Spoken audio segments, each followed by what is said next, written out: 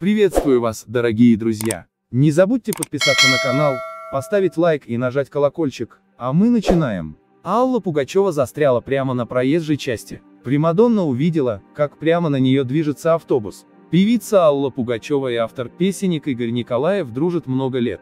Недавно приятелю Примадонны исполнилось 60 лет. Круглую дату именинника отметил в кругу близких друзей и родных в одном из столичных ресторанов. В честь юбилея Николаев снялся в шоу сегодня вечером. После этого автор хитов отечественных исполнителей дал откровенное интервью. Игорь Николаев вспомнил, как они с Аллой Пугачевой попали в переплет буквально накануне его дня рождения. Это случилось много лет назад. Все началось с совершенно неожиданного предложения Примадонны. Однажды накануне дня рождения ко мне приехала Алла Борисовна и говорит, покатай меня. Я удивился, на чем? У меня же ни машины, ни даже велосипеда. А она, а что есть? Санки? Отлично.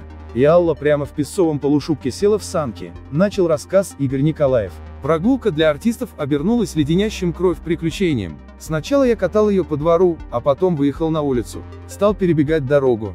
А там была проплешина без снега, сухой асфальт. Санки встали прямо посреди дороги. И в эту секунду вижу, как на нас летит автобус, вспомнил автор песенник. Большая машина не могла резко остановиться на заснеженной скользкой дороге, поэтому водителю пришлось тормозить, прижимаясь к сугробам. Игорь Николаев и Алла Пугачева буквально к земле приросли. По словам артиста, автобус остановился в паре метров от них. Водитель с монтировкой в руках выскочил явно с намерением нас побить. Тут Алла. И это гениально. Снимает шапку.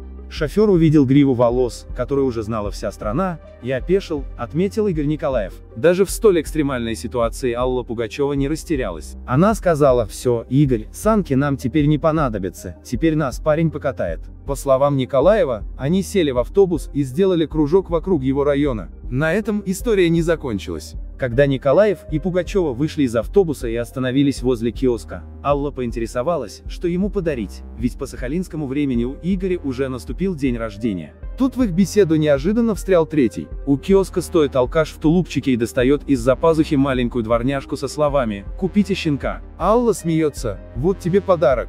Эту собачку моя старшая дочь Юля, Ей тогда было лет семь, назвала Ладой, завершил рассказ Игорь Николаев в беседе с корреспондентом журнала «Семь дней». Спасибо за просмотр, ставьте лайк и подписывайтесь. До встречи!